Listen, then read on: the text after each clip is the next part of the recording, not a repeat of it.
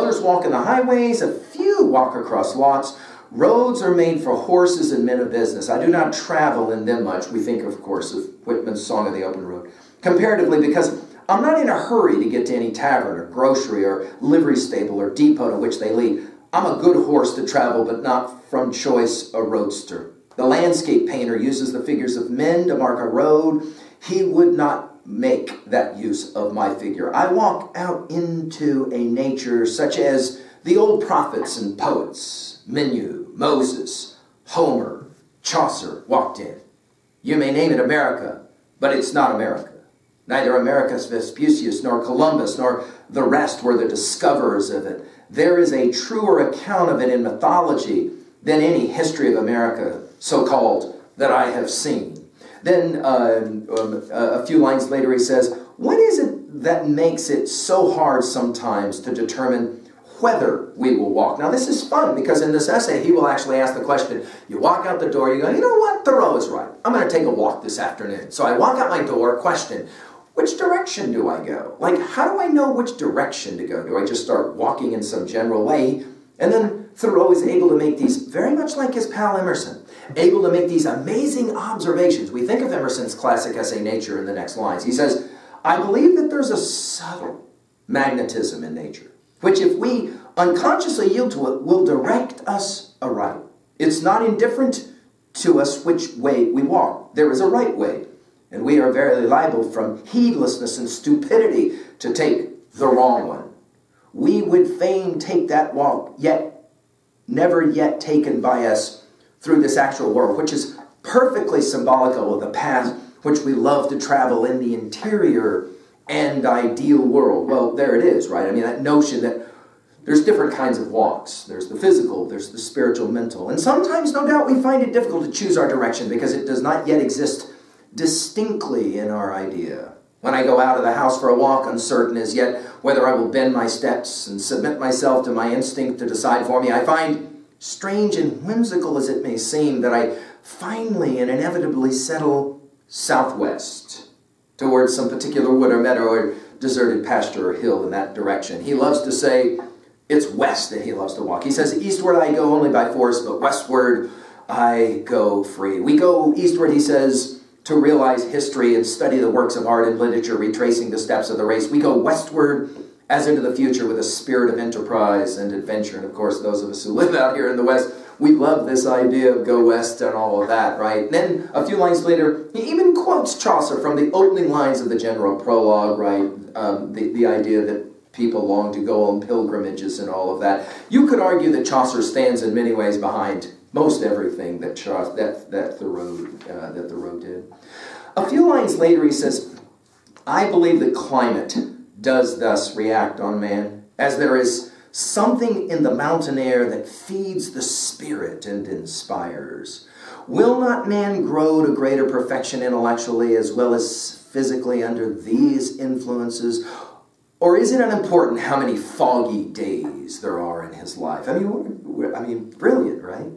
I trust that we shall be more imaginative, that our thoughts will be clearer, fresher, more ethereal as our sky, our understanding more comprehensive and broader, like our plants, our intellect generally on a grander scale, like our thunder and lightning, our rivers and mountains and forests, and our hearts shall even correspond in breadth and depth and grandeur to our inland seas. Uh, uh, uh, now, writers have often said when they read Thoreau, if I could write one line as well as Thoreau writes thousands of these lines, I would have lived a good, a good life as a, as a writer.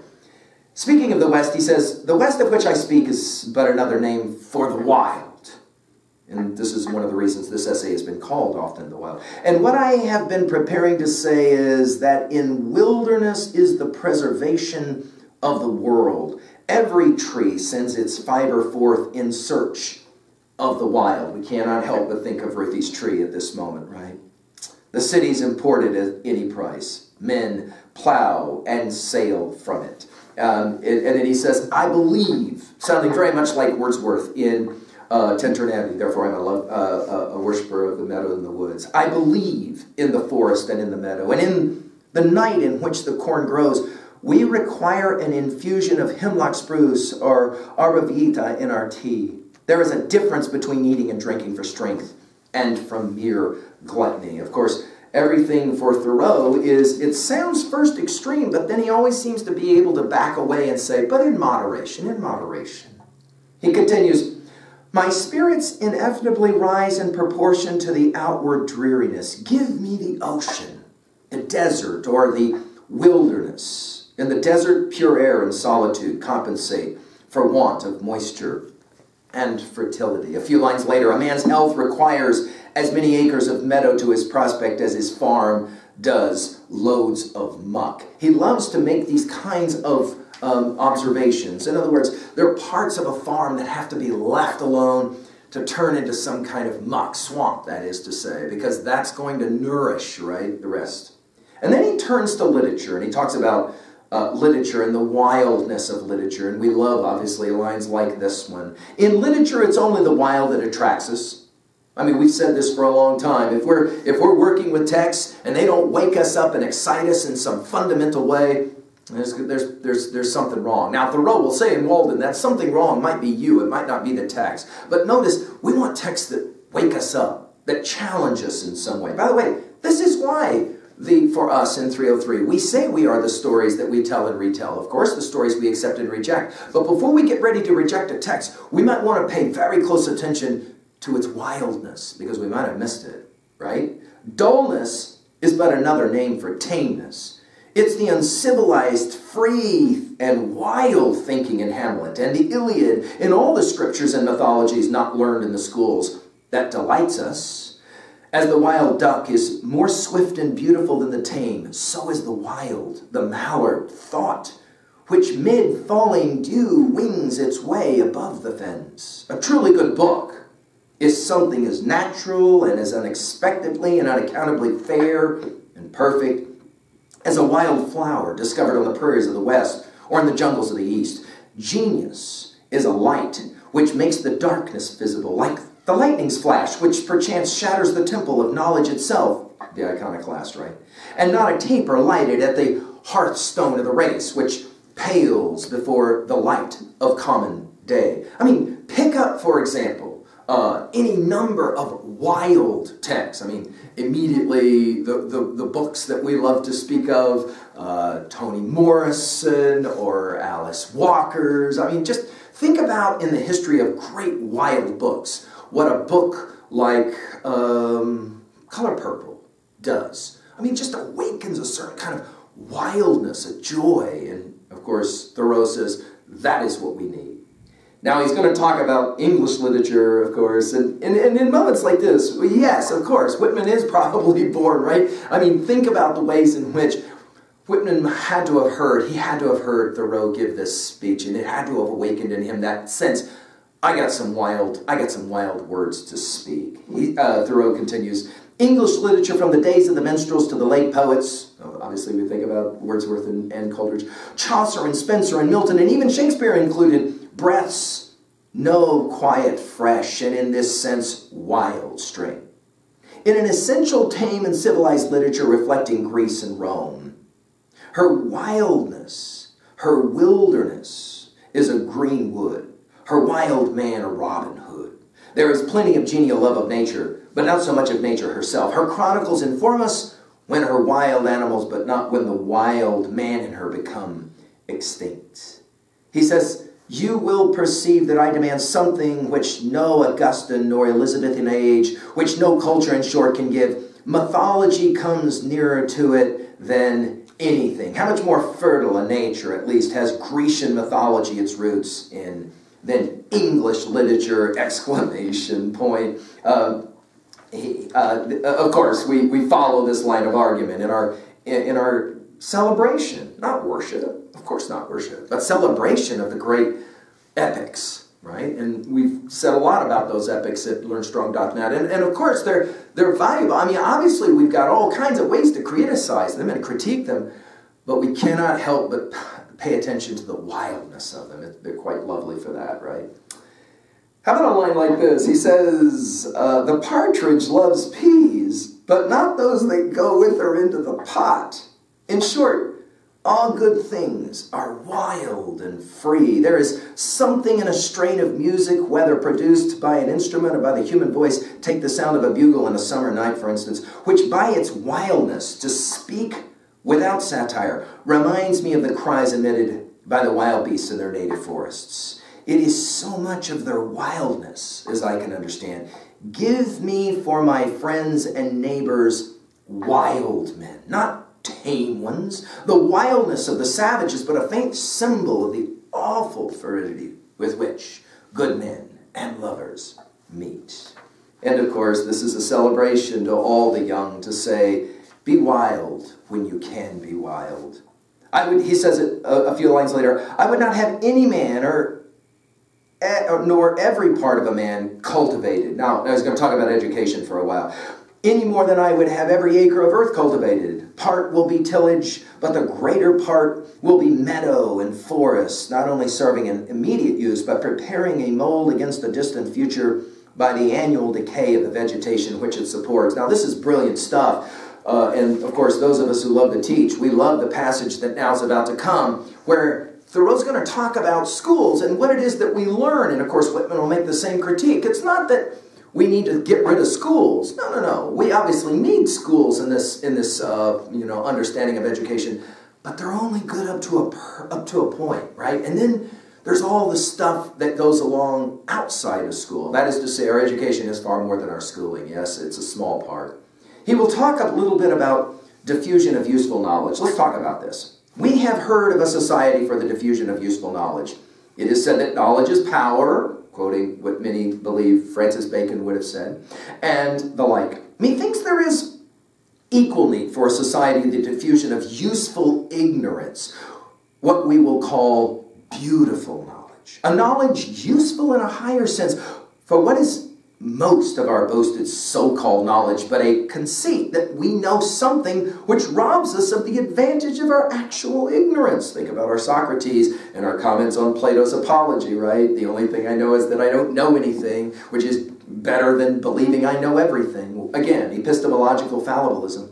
What we call knowledge is often our positive ignorance. Ignorance, our negative knowledge. By long years of patient industry and reading of the newspapers, for what are the libraries of science but files of newspapers? A man accumulates a myriad facts, lays them up in his memory, and then when in some spring of his life he saunters around in the great fields of thought, he, as it were, goes to grass like a horse and leaves all his harness behind him in the stable. It's a wonderful word picture. In other words, what you're doing right now in your life is learning how to eat hay so that later you can go out in the sunshine summer of your life and eat all the grass you want out on the fields, playing in the fields of language, as we often refer to it, of course, in 303. I would say to the Society for the Diffusion of Useful Knowledge, sometimes go to grass. You've eaten hay long enough. The spring has come with its green crop. The very cows are driven to their country pastures before the end of May, though I have heard of one unnatural farmer who kept his cow in the barn and fed her on hay all the year round.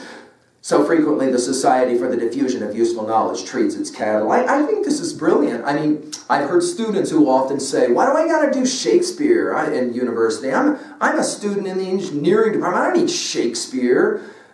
Thoreau would say, See, here's the problem with that idea. You need life on all of it. And therefore, go to grass. Don't just eat the hay. Although the hay is obviously vital, go to grass. A man's ignorance sometimes is not only useful, but beautiful.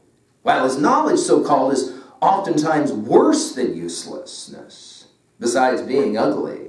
I mean, I think this is so important. Again, the fallibilist position. Admit that there's a whole lot you don't know. something beautiful about this, something wild about that, right? Which is the best man to deal with who knows nothing about a subject and what is extremely aware, knows that he knows nothing. Here it is, the fallibilist position epistemologically. Or he who really knows something about it but thinks that he knows all. My desire for knowledge is intermittent, but my desire to bathe my head in atmospheres unknown to my feet is perennial and constant. The highest that we can attain to is not knowledge, but sympathy with knowledge, curiosity, right? This is why we say we don't have to like a book. I mean, I don't like this book, and therefore I'm not. No, no, no, no. We're, we're not interested in like. We're interested in appreciation, respect. Just as we don't have to like all people, but we must respect them for the positions that they hold. Even if we disagree, mostly when we disagree with them, we must learn to listen to what they have to say, right? I do not know that this higher knowledge amounts to anything more definite than a novel and a grand surprise on a sudden revelation of the insufficiency of all that we called knowledge before, a discovery that there are more things in heaven and earth than are dreamed of in our philosophy. He, of course, has to quote his Hamlet uh, to Horatio from uh, Act 1 of Hamlet, but he doesn't even put quotation marks around it. It's the lightning up uh, by the mist of the sun. He says, We cannot know in any higher sense than this, any more than a person can look serenely and with impunity in the face of the sun. Uh, a few lines later, amazingly, he references, for example, he references Muhammad. Um, and then a few lines later after that, while almost all men feel an attraction drawing them to society, few are attracted strongly to nature. In the relationship to in the relation to nature, men appear to me, for the most part, notwithstanding their arts, lower than the animals. It's not often a beautiful relation, as in the case of the animals. How little appreciation of the beauty of the landscape there is among us, right?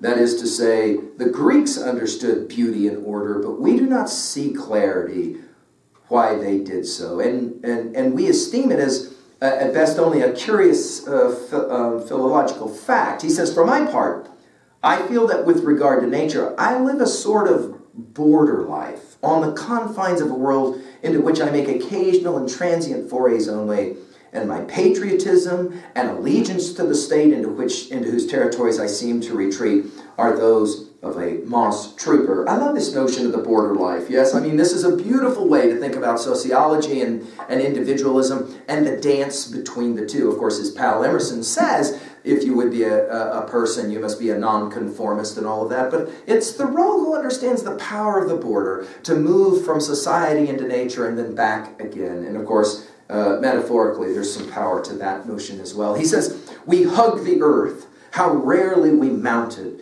He thinks, methinks we might elevate ourselves a little more. We might climb a tree, at least. And we, you know, we, we think of that uh, of, the, of the classic moments in literature. Obviously, Frost was very influenced uh, by this by this notion in his uh, in his famous poem Birches. We've given that lecture as well. Above all, to continue with the road.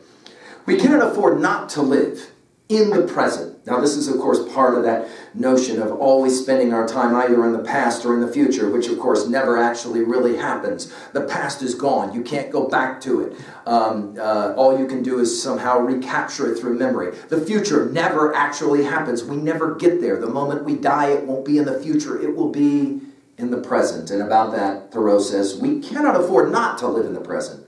He is blessed above all mortals who loses no moment of the passing life in remembering the past. Uh, a contemporary, of course, Longfellow, trust no future in Psalm of Life. However pleasant, let the dead past bury the dead. Act, act in the living present. Unless our philosophy hears the cock crow in every barnyard within our horizon, it is belated. And again, notice that movement between the literal and the metaphor. It's quite brilliant. That sound commonly reminds us that we are growing rusty and antique in our employments and habits of thought. Wow, what a great line. Are you finding yourself already growing rusty and antique in your employments and habits of thought? That is to say, wake up. This is, of course, this notion of wake up, become alive again to the wildness of ideas and the wildness of the life that you can live with those ideas, right? His philosophy comes down to a more recent time than ours. There is something suggested by it that is a newer testament, the gospel according to this moment. He has not fallen astern. He has got up early and kept up early. And to be where he is, is to be in season, in the foremost rank of time. It's an expression of the health and soundness of nature, a brag for all the world. Healthiness as of a spring burst forth, a new fountain of the muses to celebrate this last instant of time where he lives, no fugitive slave laws are passed. Of course, the brilliance of Thoreau pointing out already that the abolitionist movement will win. And in the end, even because of a civil war, America will be better for it. Who has not betrayed his master many times since last he heard that note? Well, the way he finishes this brilliant, brilliant essay is to talk about a sunset. And of course, there's brilliance about this because he'll start in the morning and end in the evening. Uh, he says it this way We had a remarkable sunset one day last November. And this kind of like folksy, um, hey, let me tell you a story, you know, to finish this essay, which was, of course, a lecture to begin with, uh, will remind us a lot of Walden. Like I said, learning how to read walking can help you to read Walden, I believe. He says, I was walking in a meadow the source of a small brook, when the sun at last, just before setting, after a cold gray day, reached a clear stratum in the horizon, and the softest, brightest morning sunlight fell on the dry grass and on the stems of the trees in the opposite horizon and on the leaves of the shrub oaks on the hillside, while our shadows stretched long over the meadow eastward, as if we were the only motes in the beams. It was such a light as we could not have imagined a moment before. And the air also was so warm and serene that nothing was wanting to make a paradise of that meadow. When we reflected that this was not a solitary phenomenon, never to happen again, but that it would happen forever and in ever an infinite number of evenings, and cheer and reassure the last child that walked there, it was more glorious still. The sun sets on some retired meadow where no house is visible with all the glory and splendor that it lavishes on cities, and perchance, as it has never set before, where there is but a solitary marsh hawk to have his wings glided on by, or only a musquash looks out from his cabin and there is some little black veined brook in the midst of the marsh, just beginning to meander, winding slowly round a decaying stump. We walked in so pure and bright a light, guiding the withered grass and leaves so softly and serenely bright. I thought I had never bathed in such